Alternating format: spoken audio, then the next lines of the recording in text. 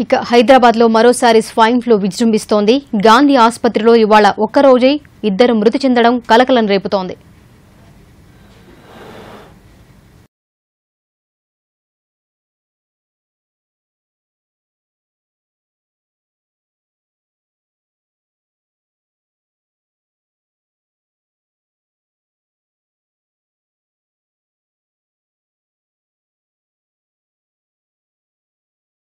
హైదరాబాద్లో మరోసారి swine flu విజృంభిస్తోంది. Gandhi ఆసుపత్రిలో ఇవాళ ఒక్కరోజే ఇద్దరు మృతి చెందడం కలకలం రేపుతోంది.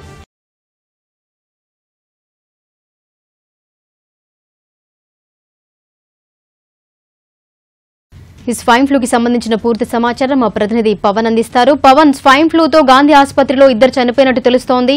ఏంటి డీటెయిల్స్?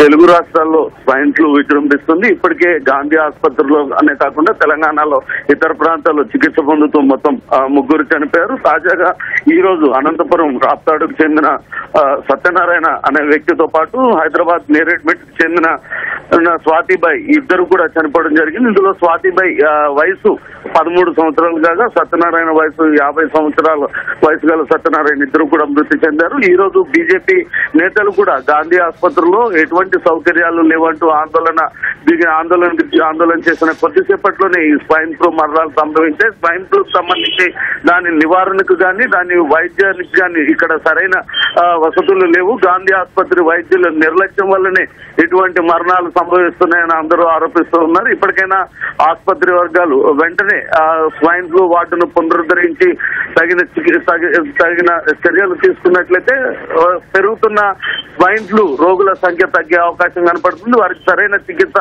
అందజేసే అవకాశం కూడా ఉంటుందని చెప్పుకోవచ్చు మాధవి. పవన్ ఇద్దరు చనిపోయారు. డాక్టర్స్ ఏమంటున్నారు మరి ఈ స్వైన్ ఫ్లూ విషయంలో.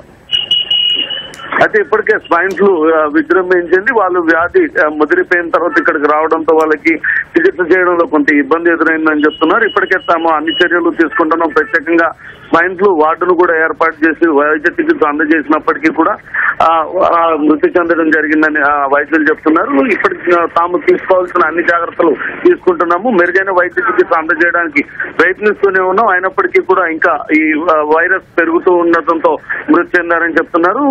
ప్రజలందరూ కనుక తగిన జాగ్రత్తలు తీసుకున్నట్టయితే స్వైన్ ఫ్లూ బారిన పడకుండా వచ్చి ఉండవచ్చు అని చెప్తున్నారు. ఎప్పుడు వేడిగా ఉండే ప్రదేశాల్లో ఉంటే స్వైన్ ఫ్లూ వ్యాధి వ్యాపించదు కాబట్టి అటువంటి చర్యలు తీసుకోవాలని వైద్యులు సూచిస్తున్నారు మాధవి. రైట్ పవన్.